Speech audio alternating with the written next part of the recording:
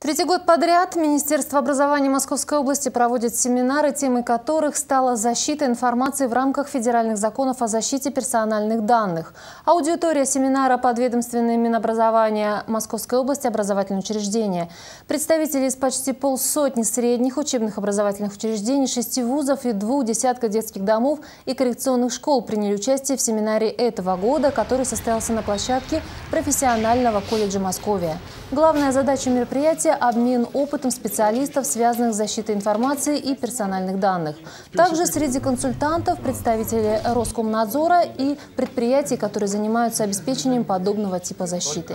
Каждый мог получить в качестве раздаточного материала методическую литературу и рекламную продукцию. Это проводится в интересах и задачах, чтобы люди э, знали о том, что происходит у нас законодательными актами, э, что у нас разрабатываются, какие новые программные продукты и технические средства.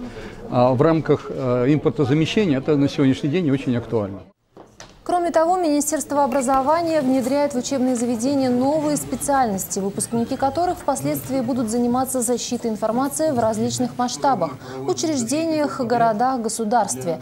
В колледже Москвы пока не планируется открыть подобную группу, но в случае потребности аэропорта Домодедово, а основная масса специалистов готовится для этой организации, в числе курсов появится и такой. Руководитель конференции, первый заместитель министра образования Московской области Алексей Анопченко считает важной проблемой проблему информационной защищенности, особенно в отношении детей.